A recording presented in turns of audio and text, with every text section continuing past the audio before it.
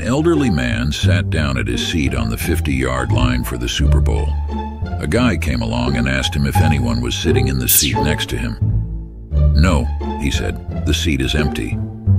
This is incredible, said the man. Who in their right mind would have a seat like this for the Super Bowl, the biggest sporting event in the world, and not use it? Somberly, the elder man says, Well, this seat belongs to my wife. She and I were to come here together, but she passed away.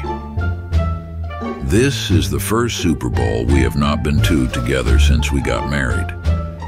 Oh, that's terrible. I'm sorry to hear that, said the man.